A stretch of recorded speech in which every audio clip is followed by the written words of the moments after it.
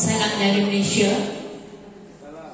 Syukur kerana diizinkan oleh Allah Ta'ala.